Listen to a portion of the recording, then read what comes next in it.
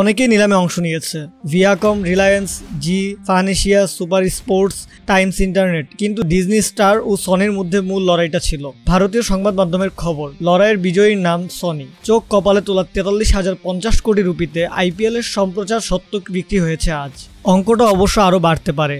এবারে আইপিএল এর সম্প্রচার সত্যকে চারটি প্যাকেজের আয়তায় এনেছে ভারতীয় ক্রিকেট বোর্ড, বিসিসিআই। প্যাকেজ এতে আছে ভারতীয় উপমহাদেশের টেলিভিশন সত্য, প্যাকেজ বিতে ডিজিটাল স্ট্রিমিং সত্য, প্যাকেজ সিতে গুরুত্বপূর্ণ ম্যাচের বাড়তি সংযোজন এবং প্যাকেজ ডিতে থাকবে উপমহাদেশের বাইরের সত্য। প্যাকেজ সিতে শনি ও রোববারের ম্যাচ প্লে অফ ও ফাইনাল ম্যাচ থাকবে।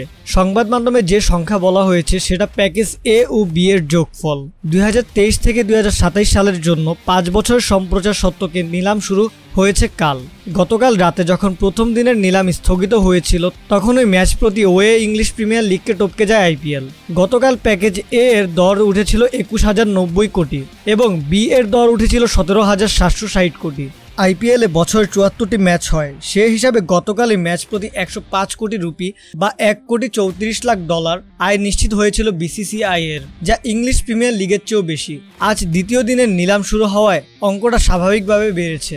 আর শেষ খবর পাওয়া পর্যন্ত প্যাকেজ এ, অর্থাৎ টিভি সত্ত্ব বিক্রি হয়েছে তেইশ হাজার পাঁচশো পঁচাত্তর কোটি রুপিতে। ওদিকে প্যাকেজ বি, অর্থাৎ স্ট্রিমিং সত্ত্ব বিক্রি হয়েছে উনিশ হাজার ছয়শো আশি কোটি রুপিতে। নাটক অবশ্য নিলামের পরও শেষ হয়নি। প্যাকেজ এ, সনি জিতলেও প্যাকেজ বি নাকি জিতে নিয়েছে স্টার। সর্বশেষ খবর অনুযায়ী, সনি প্যাকেজ বি জেতার জন্য স্টারকে চ্যালেঞ্জ করেছে। প্যাকেজ সি ও প্যাকেজ ডি এর ক্ষেত্রে নিলামের বিজয়ীর নাম অবশ্য এখনও জানা যায়নি।